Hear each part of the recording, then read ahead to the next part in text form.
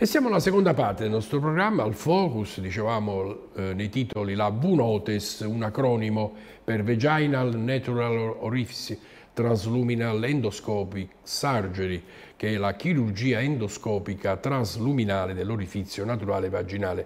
Allora, dottor Fasolino, ehm, una, diciamo, una tecnica proprio recentissima in Italia, eh, la prima difficoltà però è una indubbia ristrettezza dello spazio in cui voi vi trovate ad operare e quindi l'esigenza di utilizzare adeguate camere endoscopiche che accompagnino, la, assistano insomma, la chirurgia transvaginale, è così? Sì, esattamente, è esattamente così. Mi permette, permettimi Aldo innanzitutto di salutare i telespettatori che ci stanno seguendo e di ringraziare te per l'invito su questo argomento interessante perché effettivamente è una novità da un punto di vista chirurgico. Sì. La, la, novità è rappresentata dal fatto che viene, vengono utilizzati eh, orifici naturali quali la vagina per poter effettuare determinate procedure chirurgiche che hanno essenzialmente sempre il carattere della benignità mi riferisco alle patologie benigne dell'utero e alle patologie benigne della, della, eh, degli, degli, annessi.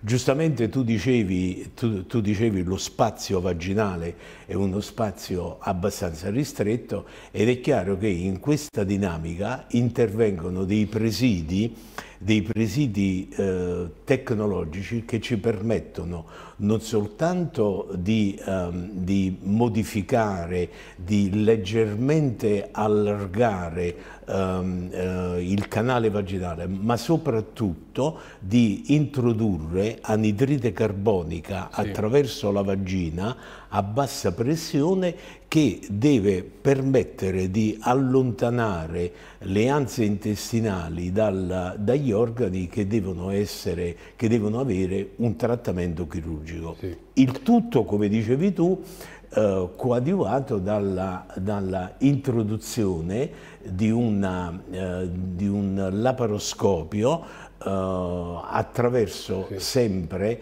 la, la, la vagina questo la, laparoscopio in effetti permette la individuazione di vedere, analizzare tutte quante le strutture che sono nella, a livello addominale. Sì.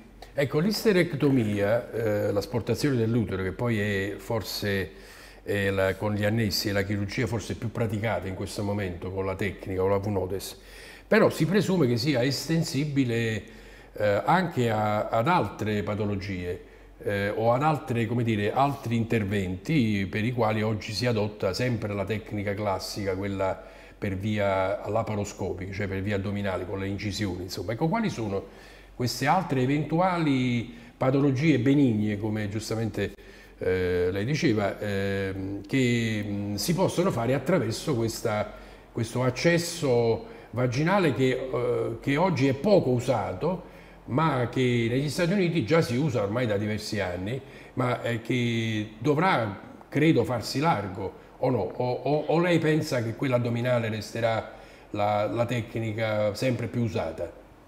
No, l'obiettivo è quello di ridurre quanto più è possibile la chirurgia per via addominale. Sì.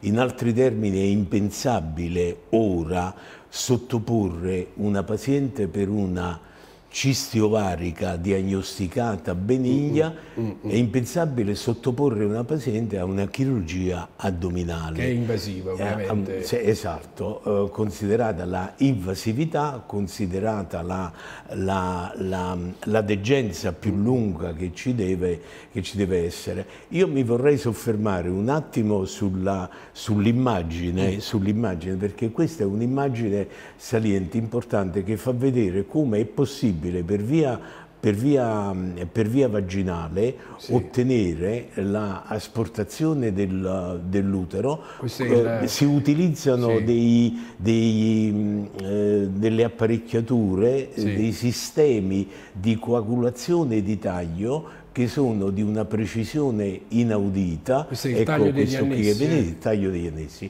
La patologia che viene più comunemente trattata è la patologia uterina. Sì. Ritornando alla, alla domanda, però, però, si sta cercando di utilizzare questa tecnica, quindi orificio vaginale come ingresso, questa tecnica nella patologia benigna sì. uterina, sì. vale a dire fibromi uterini, nella patologia, nella patologia benigna ovarica, vale a dire sì, cisti uh, ovarica e il futuro credo che sarà assolutamente, assolutamente questo. La, la, diciamo, la tecnica che, alla quale i medici, i chirurgi dovranno essere formati. È, è, indubbiamente Dove sì. ci si forma oggi, dottor Fasolino, Antonio? Noi, noi, ci, noi, abbiamo fatto un training, in, um, io personalmente uh, ho fatto un, un, training in Belgio perché sono, è stato portato questo tipo di intervento, è stato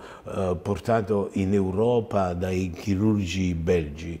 Uh, ci sono due collaboratori, il dottore Miele che collabora, che collabora, con me, che si è formato, ha fatto di, un corso di preparazione a, a Pisa, collabora sì. con me anche il dottore Iovieno con la sua esperienza, essendo lui stato anche eh, direttore alla, sì. al, al San Leonardo. Ecco, scendiamo un po' nei dettagli, mentre continuiamo a vedere delle immagini molto interessanti, tutti fumetti ovviamente, perché dato l'orario sensibile non, eh, abbiamo preferito utilizzare le animazioni ed è stato già complesso trovarle queste animazioni. Ecco, scendiamo nei dettagli di questo intervento di isterectomia, sarebbe l'asportazione sempre per patologie benigne dell'utero, con la tecnica appunto V-Notes. Ecco come si procede, mentre Partiamo con le immagini che ci fa vedere Fiore Caso. Allora, quello che stiamo vedendo è il tempo vaginale. Sì. Il tempo vaginale eh, eh, permette attraverso la vagina si, eh, questo tempo vaginale permette l'introduzione di, di, quel eh, sistema che sì. è Alexis, sì. la copertura di questo Alexis e qui vengono, viene, eh, c'è una piattaforma sì. con tre vie, in ognuna di queste vie viene introdotto uno strumento. Uno è la telecamera che deve permettere la visualizzazione, la visualizzazione degli organi e l'altro, canale permette l'introduzione di queste, di queste pinze che servono per la coagulazione e il taglio. Lì, se, questo una volta finito l'intervento, la piattaforma viene, viene asportata, sì, ecco con qui. delle pinze si asporta l'utero, ecco che, che viene, esatto.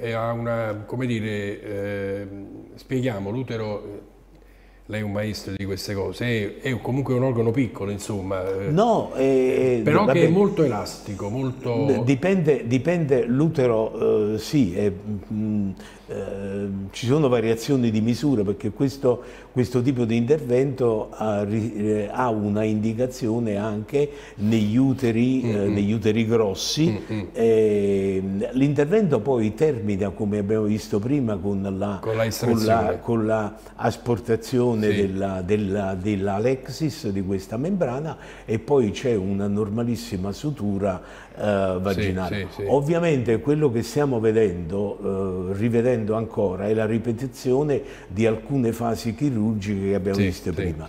La cosa importante che mi permette, eh, che, che, è necessario sottolineare, è che per effettuare questo intervento c'è bisogno di una combinazione di mm. conoscenza tra la via vaginale e la via eh, laparoscopica. Sì, sì perché queste vie combinate permettono di portare a termine questo tipo di intervento per il trattamento, sì, sì, ripeto, sì. fino ad ora delle patologie benigne della... Sì, eh, sì perché quella, diciamo, quella sacchetta che si infila eh, quello in effetti è come se simulasse la laparoscopia, perché ci sì, sono i tre... Sì, permette Però di isolare... l'accesso è sempre quello vaginale. L'accesso è sempre niente per via vaginale. Non ci sono incisioni, non ci sono, non ci sono cicatrici, la paziente ha una posizione eh, normale, ginecologica, Ginecologica. c'è una leggera... quale anestesia si usa, dottor? Generale, Generale, ge- sì. sì, viene effettuata anestesia generale, ehm, eh, Però ho letto che si potrebbe anche si potrebbe utilizzare anche utilizzare un'anestesia spinale. Devo dire che nell'ultimo intervento che abbiamo fatto l'altro ieri abbiamo, eh, abbiamo iniziato l'intervento con l'anestesia spinale, Sì. però ci sono state delle problematiche relative alla- eh, sì. alle condizioni della, della- della paziente, per cui l'anestesista giustamente ha modificato Eh, sì, il certo. suo atteggiamento. Dipende dalla persona, insomma, Sì, dipende, dipende dalla- dalla sua emo- emotività, dalla sua eh, carica ansiosa.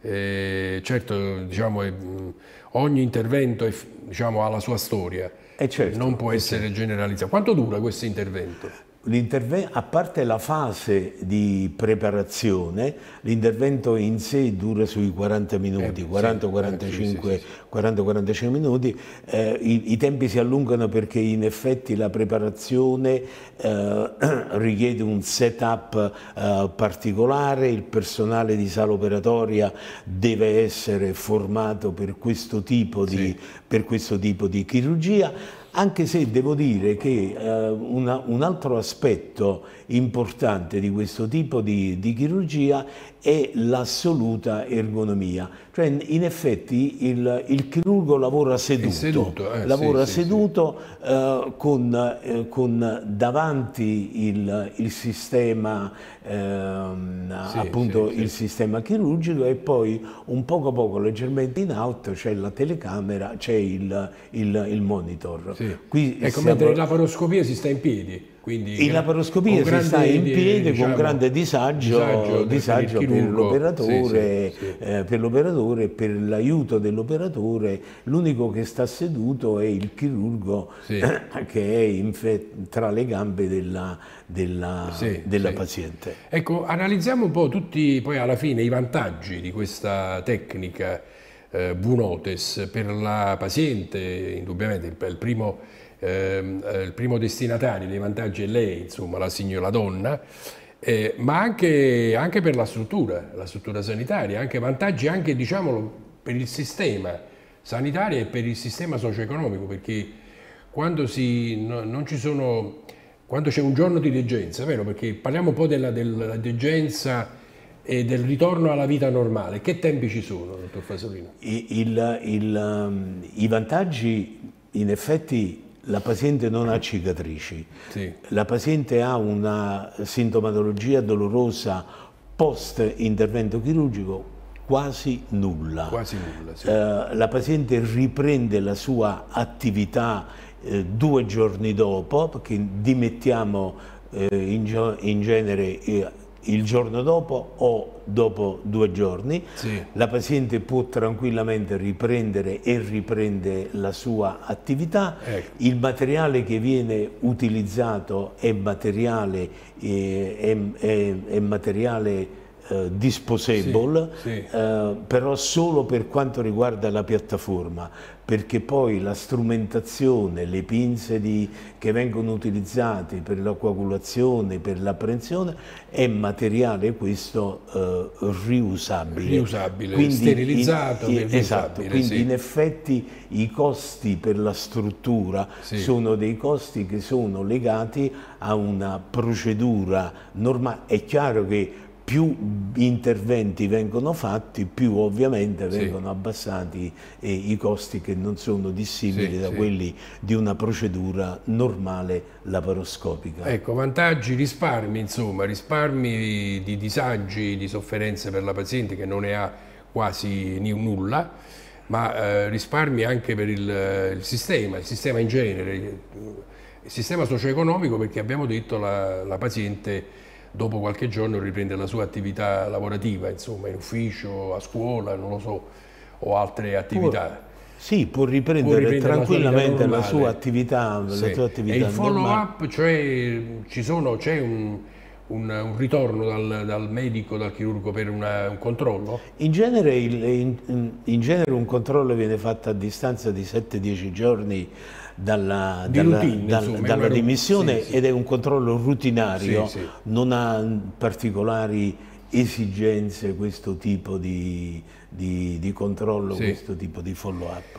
Oh, e tutto questo, dottor Fasolino, accade eh, guarda caso, guarda che coincidenza, con l'inaugurazione della nuova sede della Clinica del Sole, Vita del Sole, dove lei eh, lavora adesso, dopo essere stato primario per tanti anni, per molti anni alla, alla ginecologia Ruggi, a Salerno, ecco, eh, che si inaugura quindi proprio oggi. Ecco, qui vediamo la ex Cirte di Via dei Greci a Fratte, trasformata in, eh, in, una, in, una, in, una, casa di cura, in una clinica, con la sua caratteristica di essere orizzontale, cioè non ha cioè eh, non, si usano, non, si useranno ascensori in questa Sì, clinica. non ci sono dislivelli. Sì, un po' come al Moscati di Avellino, la orizzontalizzata de, della, della, struttura. Questo comporterà sicuramente dei vantaggi, insomma, eh, qualche svantaggio nel senso che si dovrà usare più personale probabilmente ma I vantaggi sono rappresentati dal fatto che ogni posto viene facilmente raggiunto. Sì, certo. eh,